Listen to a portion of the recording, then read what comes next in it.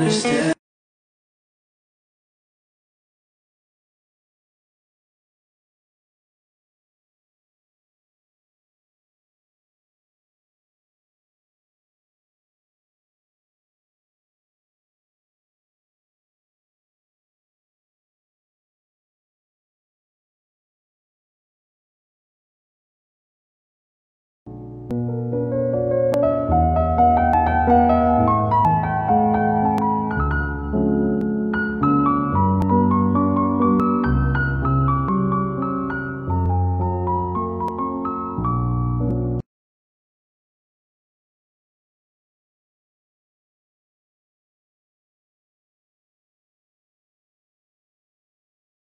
Too early, maybe later you could show